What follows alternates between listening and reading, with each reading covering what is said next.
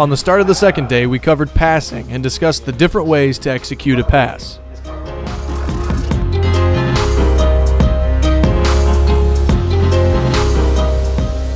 Our first on track session was stop box lapping with passing cones set up in turns 11 and 12. We had to pretend like the cones were a car and move over like we are making a pass going into the corner. As we did yesterday, we didn't have to stop at the stop box. We were able to roll right through it to maximize our track time.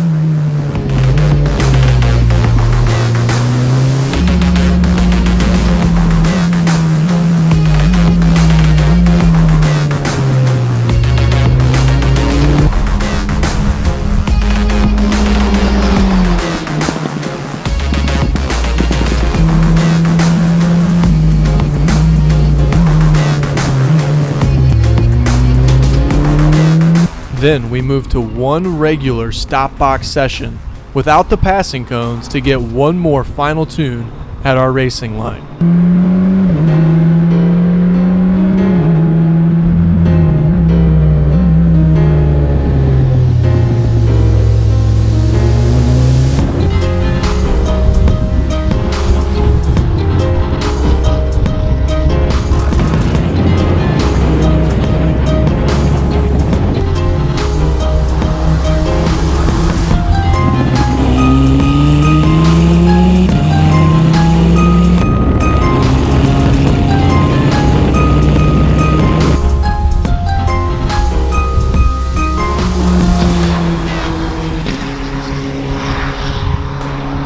The next session, we focused on passing again, but we ditched the cones for actual cars.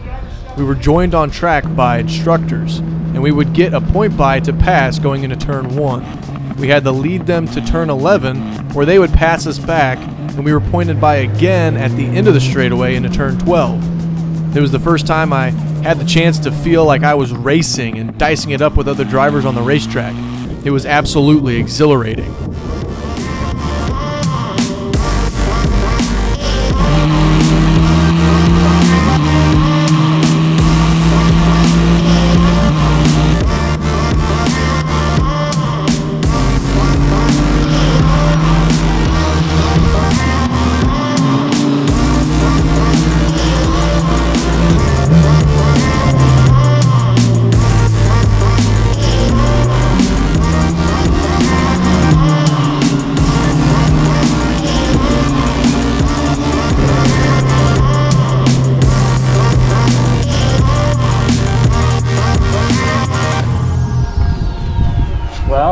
Fun.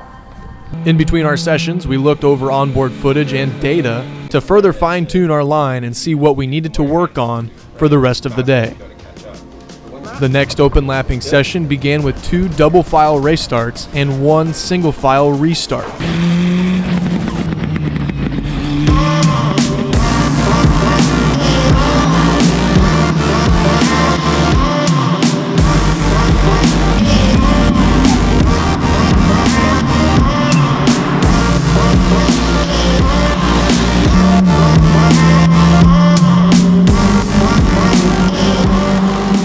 After that, we were pointed by the pace car, one at a time, to begin open lapping.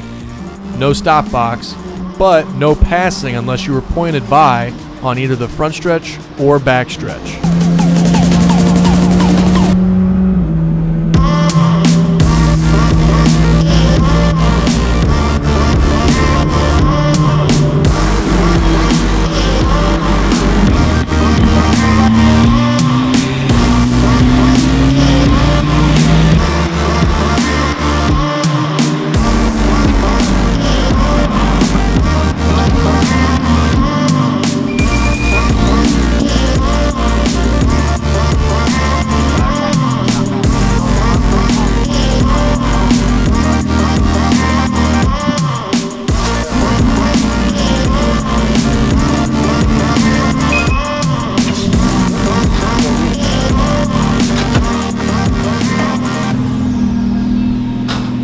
Final session of the day put together all the skills learned in both the three day and the two day advanced school.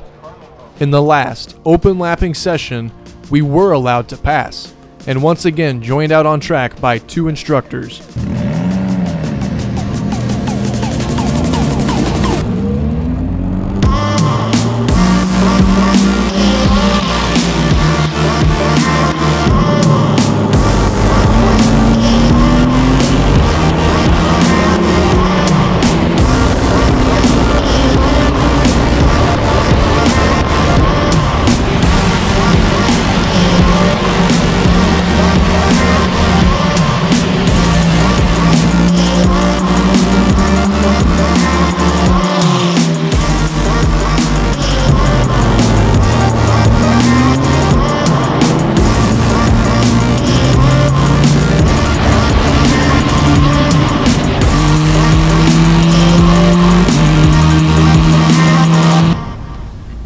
Of it, this might be the first um, diploma some of you guys have ever had.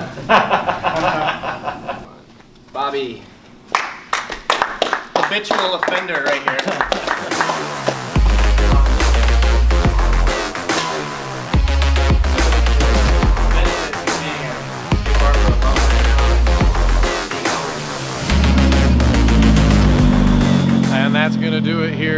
from Circuit of the Americas with Skip Barber Racing. What a blast. A lot of track time. Getting out on track with the instructors was huge. You're able to follow them and race around with them and really pick up on a lot of things that you might be missing on. You you get the feedback after you come off the track and it, and it helps, but being there and getting that live feedback and being able to watch the instructors was huge. So two-day advanced school, it's just awesome. You have to come out here and try it, whether it be the Mustangs or the Formula cars. It's just an absolute blast. And COTA's a perfect track to learn on. Lots of runoff, yet very, very technical. So check them out, skipbarber.com.